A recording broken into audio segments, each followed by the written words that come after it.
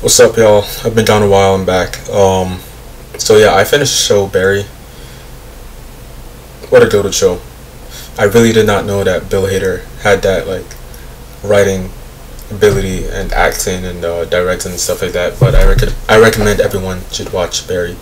Um, but it's not up there with like Game of Thrones, Succession, Breaking Bad, Better Call Saul.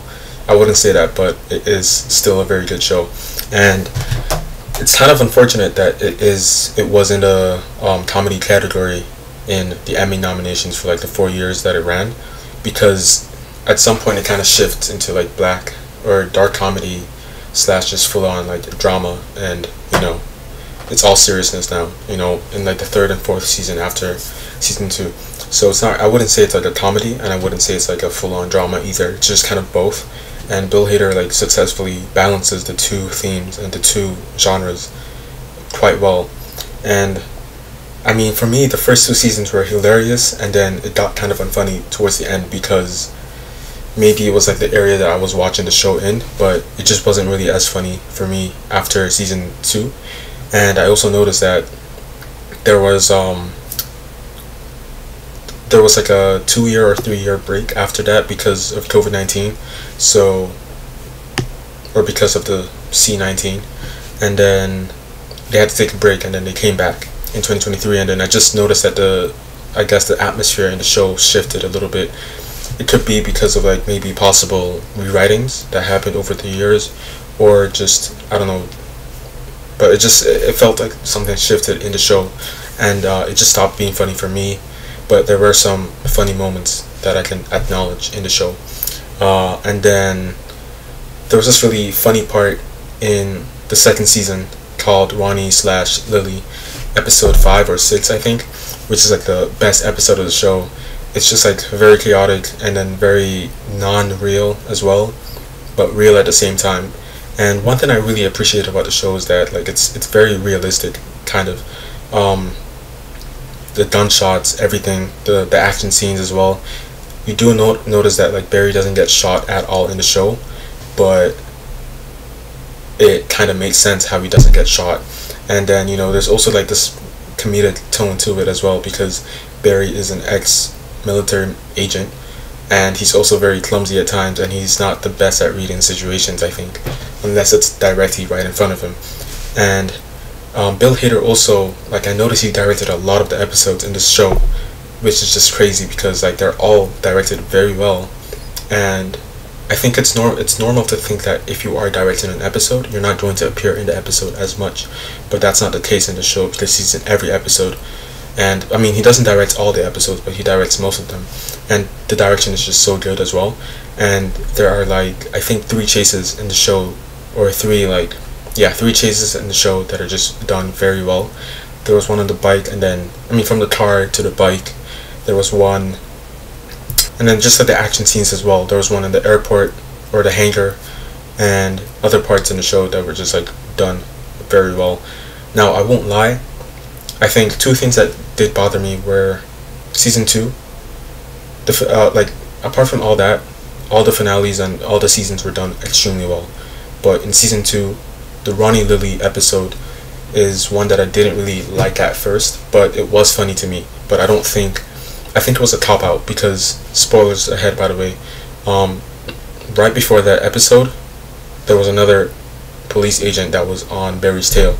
And that episode, in my opinion, is basically used as a way to like get rid of that character, the police officer, because there are two characters briefly introduced in that episode that that are displaying superhuman feats, and it just doesn't really make sense like that. And I mean, I could tell that that was just like a cop out in my opinion because, I mean, it was unreal. Like the there was this girl that was jumping from like five feet away and then fighting Barry as well, and then the dad as well that was like surviving for how long he did. It was just like a very weird episode, and there was a sense of like non-realism to it as well. And then the final complaint that I had was the f- fourth and final season. Um, there was this like huge time skip, I guess, of eight years, eight to ten years, and it was just so abrupt in my opinion. And um, I don't know, I felt a little bit disconnected from what I had just been watching because it just jumped into eight years later, and I guess you're just supposed to like take it and just disregard everything that may have happened until. But I mean, it still made sense. It just wasn't something that I really liked. And then towards the finale as well, they did this like little Breaking Bad thing in the finale of Breaking Bad as well, where Fuches nods to Barry as well, and then Fuches leaves and he runs to nowhere.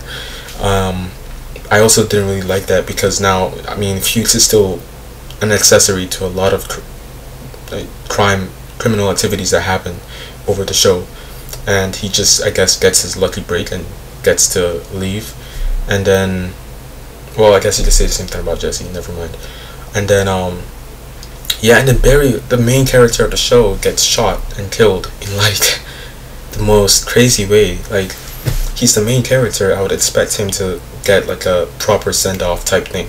Like maybe he gets shot when he's in a, in a final fight or in a fight, final battle type thing, or he gets shot and then the police arrive and then you know maybe he's shooting his weapon and then they shoot on sight or something like that.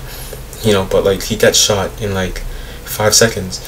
He gets shot by Gene Cousineau and then he says, "Oh wow," those are his last words. "Oh wow," and it just felt very anticlimactic for the show because I don't expect the show to end with a character that is a criminal to get a good ending, which is what the show I guess ended in in a sense. But like, so I wasn't really expecting Barry to get his um his good ending in the first place, but then he gets shot and killed right right then and there with no proper send off.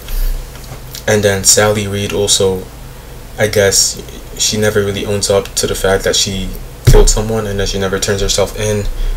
She just runs away from her own past. And then, um, I want to jump again back to season one. There was another time skip in the final episode that just caught me off guard. I was really surprised by what happened because in the prior episode, the relationship between Sally and Barry was not like it was already destroyed, I think. And the only reason they were still talking was because of the play that they had to perform for the audience. So for them to do like a time skip of like a few weeks later showing the two of them back together i was like is this i was thinking to myself is this like a something that barry is hallucinating for example or i don't know because and then also um what's her name janice appears in the finale as well of season one and the way that she was interacting with barry and sally is not how i would have thought she would interact with other with people other than Gene. So I was very caught off guard, and then the only part where I realized that this is really happening was when Janice, I guess, um, found out that Barry had a connection to Chris and stuff like that. But yeah, um, but overall, this is a very fantastic show. Um, I don't quite agree with the finale and how it went. It seemed a little bit rushed, and I'm not really happy with the ending like that. But I saw some comments saying that this is like in, towards the end of the show was more of a political commentary and just on the state of the world and you know talking about real life things that are happening. So I mean, fair is fair, but yeah, but it's certainly a good show and I recommend it.